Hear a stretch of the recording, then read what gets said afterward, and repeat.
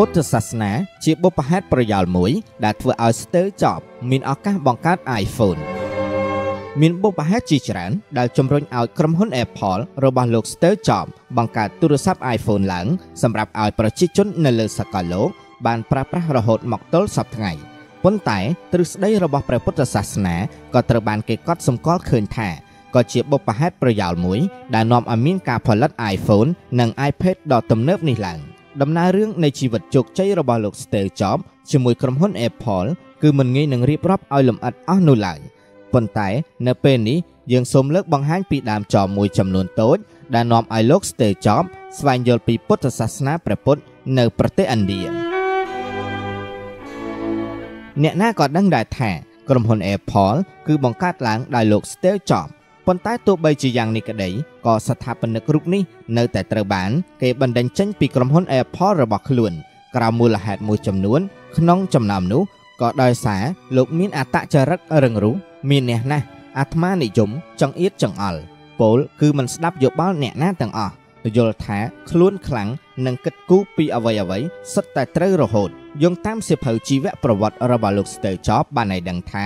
នៅចុងទសវត្សរ៍ឆ្នាំ1960 លោក Steve Jobs ដែលជាមនុស្សចង់ដឹងចង់ឮបានសាកល្បងប្រើប្រាស់ថ្នាំម៉ូមើមមាម្យ៉ាង ដែលមានឈ្មោះថា LSD ហើយក្រោយមកគាត់ក៏បានយល់ឃើញថាញៀននៃការច្នៃប្រឌិត និងការផ្ដោតអារម្មណ៍លើការងារគឺបានមកពីការប្រើប្រាស់ថ្នាំ LSD នេះឯងនៅឆ្នាំ1972លោក Steve Jobs បានចូលរៀននៅសាលាសិល្បៈទូទៅ ហើយក៏ជាពេលដែលគាត់ចាប់ផ្ដើមធ្វើសមាធិតែនៅបន្តប្រើថ្នាំ LSD ដដែល គាត់បានយល់ឃើញថាការសមាធិធ្វើឲ្យអារម្មណ៍របស់គាត់ជួបនៅរូបភាពប្លែកប្លែកវាលអរូបបង្កើតជាការពិត ដែលមិនធ្លាប់ឃើញពីមុន ជាពិសេសគាត់បានយល់ឃើញថាការបង្កើតអ្វីដែលអស្ចារ្យគឺសំខាន់ជាងអ្វីអ្វីទាំងអស់ដើម្បីស្វែងយល់ពីបញ្ហាចំណងតាក់ទងនៃការស្រមើស្រមៃ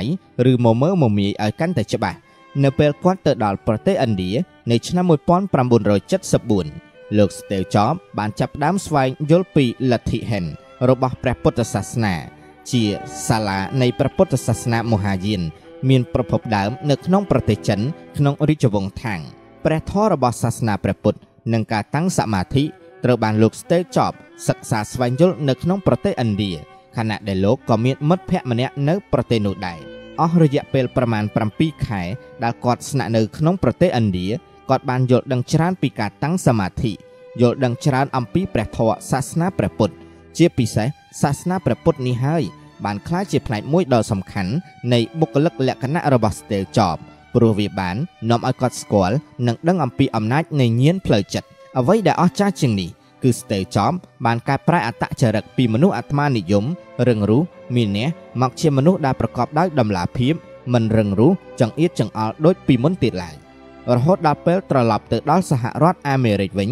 គាត់ក៏បានបើកក្រុមហ៊ុនមួយដែលមានឈ្មោះថា Nick និង Pixar Animation Studio ទទួលបានជោគជ័យហើយទីបំផុតគាត់ក៏ត្រូវបានក្រុមហ៊ុន Apple អញ្ជើញឲ្យទៅដឹកនាំក្រុមហ៊ុនវិញក្រោយពីបណ្ដឹងចេញអស់ជាច្រើនឆ្នាំប្រការនេះបានទាញហេតុផលឲ្យយើងដឹងមួយផ្នែកទៀតថាវិស័យព្រះពុទ្ធសាសនាក៏ជាបុព្វហេតុប្រយោលមួយដែលនាំឲ្យលោក Steve Jobs មានឱកាសចូលទៅដឹកនាំក្រុមហ៊ុន Apple និងឈានទៅរកការបង្កើត iPhone និង iPad សម្រាប់ឲ្យមនុស្សលោកប្រើប្រាស់រហូតមកដល់ពេលបច្ចុប្បន្ននេះ។